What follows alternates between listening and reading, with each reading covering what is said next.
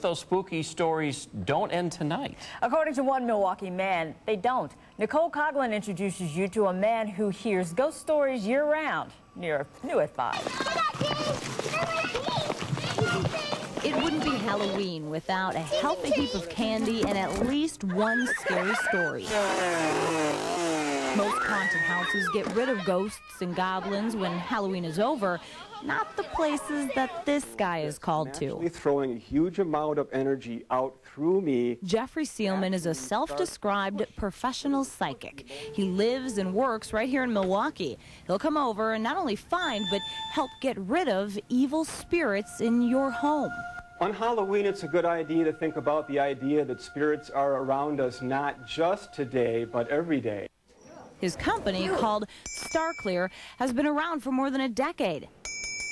This is footage of Seelman doing a cleansing in the Fox 6 newsroom in 1999 for another story.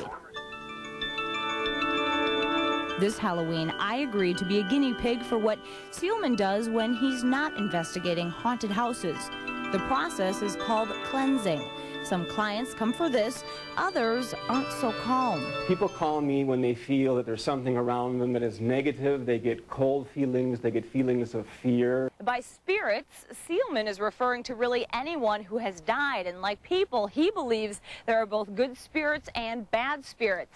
It's the not so friendly ones he tends to get calls about. They complain about dogs, animals making noises paying attention to a certain area of a room.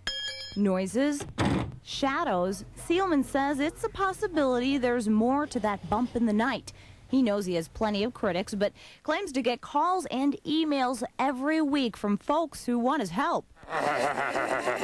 so although many of the ghosts and goblins will soon retire until next Halloween, Seelman warns, don't be so sure. Nicole Coughlin, Fox 6 News.